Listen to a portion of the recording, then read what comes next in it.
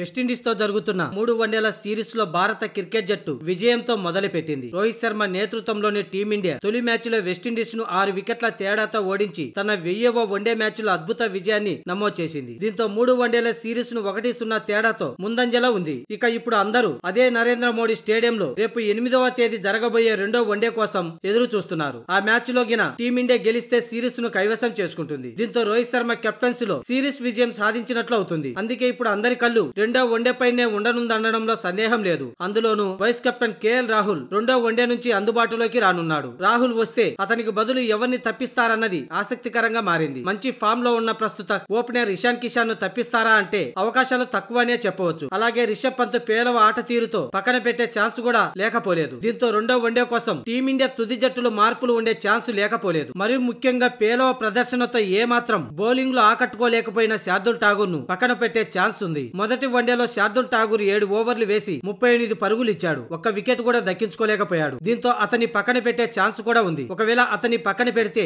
అతని స్థానంలో మరో యంగ్ బౌలర్ దీపక్ చాహర్కు ఛాన్స్ లభించే అవకాశం ఉంది. ఈ మధ్యనే బ్యాటింగ్తో కూడా తన సత్తా ఏంటో చూపిస్తున్నాడు. అందుకే శార్దుల్ ఠాగూర్ ప్లేస్లో అటు బ్యాటింగ్ ఇటు బౌలింగ్లో ఉపయోగకరంగా ఉంటుంది కాబట్టి దీపక్ చాహర్కు తుది జట్టులో ఛాన్స్ లభించవచ్చు అలాగే రాహుల్ ఎంటర్ అయితే రిషబ్ పంత్ను కూడా తప్పించే ఛాన్స్ లేకపోలేదు. దీంతో ఈ రెండు మార్పులతో భారత తుది జట్టు ఉండే అవకాశం ఉంది. రెండో వన్డే కోసం అంచనా ప్రకారం తుది జట్టు ఇది. రోహిత్ శర్మ ఇషాన్ కిషాన్ సూర్యకుమార్ యాదవ్ విరాట్ కోహ్లీ రిషబ్ పంత్ లేదా కేఎల్ రాహుల్ దీపక్ హుడా శార్దుల్ ఠాగూర్ లేదా దీపక్ చాహర్ వాషింగ్టన్ సుందర్ యజ్వేంద్ర చాహల్ మహమ్మద్ సిరాజ్ ప్రసిద్ధి కృష్ణ.